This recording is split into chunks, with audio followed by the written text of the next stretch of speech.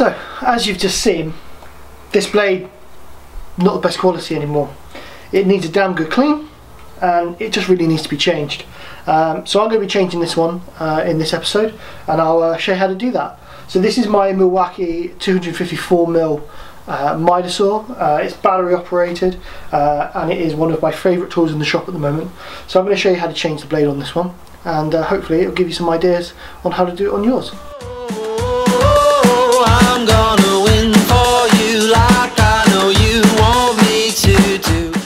Okay, so one of the most important things obviously when you're changing a blade on any saw, whether it be a miter saw or a table saw or a circular saw or anything like that, is power. You don't want any power being able to go to the machine at all. Obviously with a normal machine that's cabled, you just pick the plug out. With this one, I'm simply going to remove the battery, put it to the side, and I know that there's nothing going to this, and it doesn't matter how many times I press a button, it's not going to start on me. The first thing you need to do is actually find the um, Allen key. Now, when I first unpacked this, I thought that they had forgotten to put it in, and I was really annoyed because I was looking everywhere for it, and then eventually I found it just tucked behind here. So it's literally on the machine at all times, and I wouldn't advise you lose this. Once you finish with it, put it back in that little hole, and uh, you'll know where it is every time. So I've got the standard Milwaukee blade on here at the moment and what I've actually done is bought a lovely Freud blade for this. Things you need to remember about this saw, obviously this is your guard, this needs to be up and out of the way and that's the easiest way.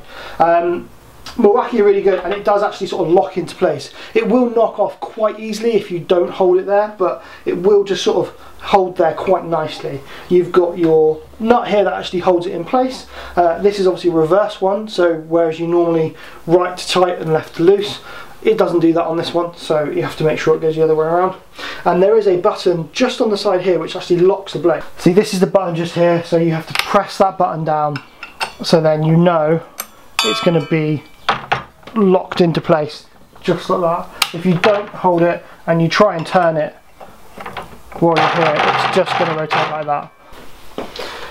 So I'm holding this button, popping the Allen key in and making sure it's in that locked position. And make sure the spanner is actually at the front of the blade because you're going to have to turn it clockwise in order for it to undo.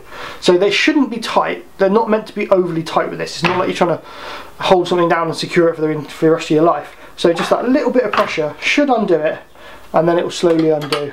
Once you've done that you can take that off and then loosen it with your fingers until it comes off. Obviously be careful not to make knock the blade off completely. Uh, you don't want it falling and clattering to the floor. So make sure you look after that that's your washer. Uh, the washer, as you can see, has got two flat sides which uh, locate onto the sides, the two flat sides of the actual uh, arbor going through. Uh, so you know that you've got it in the right place. And then you can just take that blade off nicely. And you can see that this is quite a very worn blade, uh, really dirty teeth. Um, so I need to get this one cleaned and it should be okay just as a backup blade. Okay so I've got my Freud blade here obviously being very careful because these teeth are incredibly sharp. So slide it up into the slot being very careful not to scratch the teeth on anything. There you go. Just hold it in place until you can get those that nut back on and then you can just pop that one back on just finger tight. This one specifically, the actual nut has um, blade to this side of the on the thing so you know that it goes on that way. It means you don't have to worry about which way round it's going on.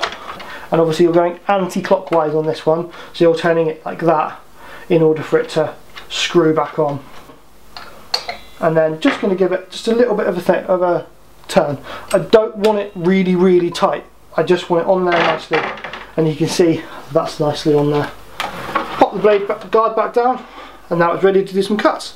One thing I didn't mention about the blade is make sure you have the teeth facing the right way.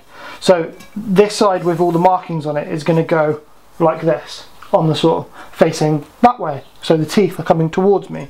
If I had it this way round it's not really going to do much because the teeth are going to be going along the wood this way and not actually doing any cutting. So make sure you know which way your blade turns and have the blade at the right um, orientation.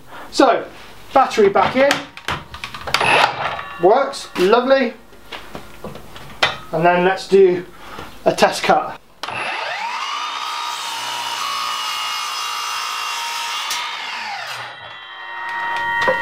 Wow, a lot quicker, a lot nicer, much better improvement.